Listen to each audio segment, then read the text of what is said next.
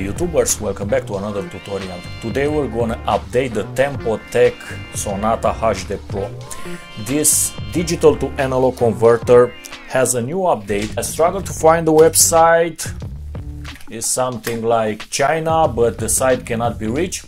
So eventually, if you write tempotec.com, it will turn up other website. So guys, write in the bar tempotec.com.cn slash English and here you will have the support and go all the way to the page to the Sonata HD Pro newest firmware.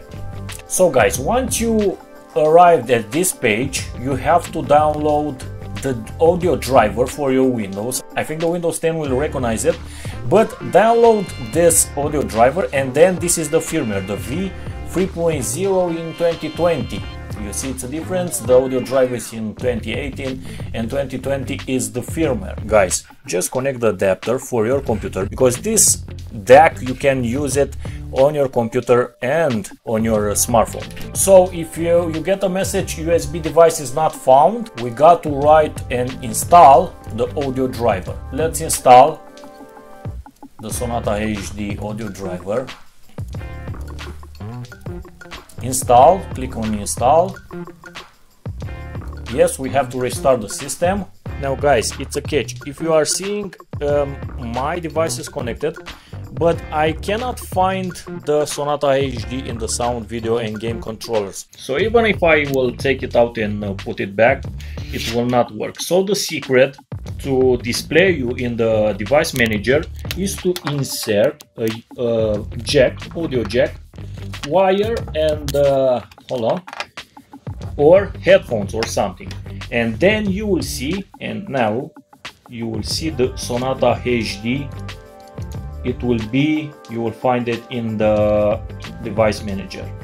So now guys i open up the document of upgrading and click properties on your sonata usb audio. Go at events. And here scroll down to exactly here. Parent device. And you will see 22e1 we got to fill up this vendor ID base 22E1 exactly like in this and E203 let's see it. E203 and we have E203 so guys to view the firmware just open up the program. When you install the driver it installs a program. And we have here we can set up this uh, device. 24 bits 96 kilohertz to output the on your computer. I want to see the firmware here but I just don't see it. So now let's write the EPROM so the firmware update it's completed.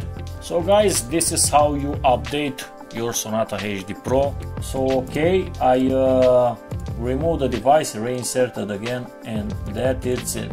And now I hope I will not have problems with this uh, device by connecting it with a connection problem. And I hope uh, we will see an improvement to this firmware as uh, audio quality. Thank you for watching guys, have a great day, see you, bye!